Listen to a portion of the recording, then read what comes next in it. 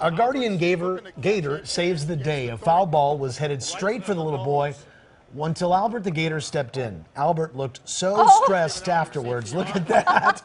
that the young fan then gave him CPR. This was at a softball game at the University of Florida.